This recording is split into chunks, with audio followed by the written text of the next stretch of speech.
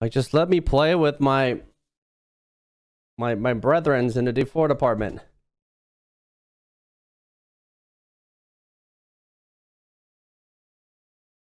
Like, I have that that Nami has a 36% win rate.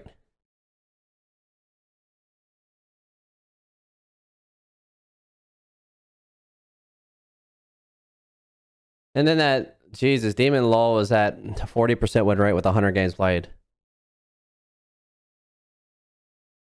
And then there the the challenger player on the enemy team, I guess the support main well played AD, but still just a big difference. And then and then their mid laner, probably challenger too, plat two, playing on his friend's account. And that account only has 19 games played on it.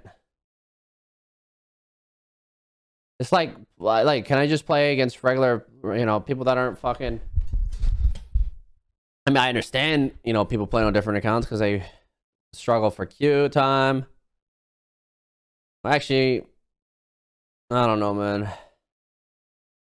But for fuck's sake, man. Like, I didn't, I just took a break.